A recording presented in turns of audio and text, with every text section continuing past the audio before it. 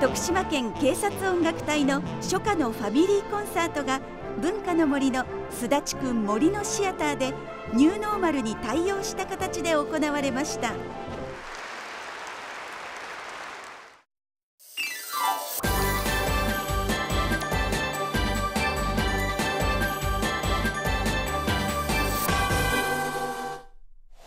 会場となった文化の森すだちくん森のシアターは平成30年にリニューアルオープン。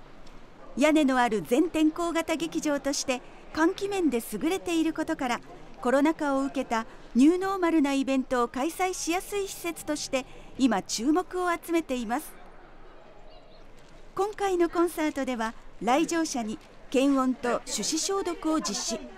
座席の間隔を取り1000人収容できる会場で400人までに絞って行われました。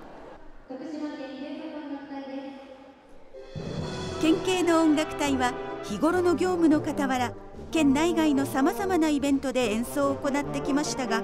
去年のコロナ禍では思うような活動ができずすだちくん森のシアターではおよそ1年半ぶりのコンサートとなりました。全天候型にねしていただいたおかげで雨の心配もありませんし我々としても安心して演奏させていただける本当にありがたいと思いますね。コンサートでは刑事ドラマのテーマソングやアニメの主題歌などが披露され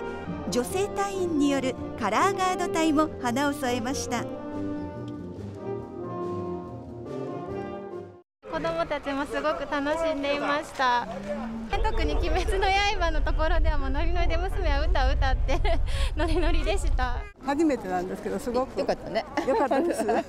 屋根があるし涼しいしすごく野外のこういうコンサートってすごくいいなと思って。こういった開放的な空間を持っておりますので有効に活用して皆様方に楽しんでいただけるひとときを持っていただきたいと思って企画した次第です。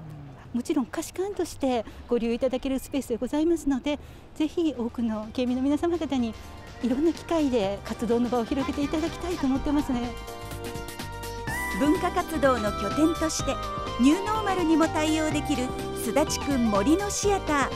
ーこれからもいろいろなイベントでの活用を期待したいですね。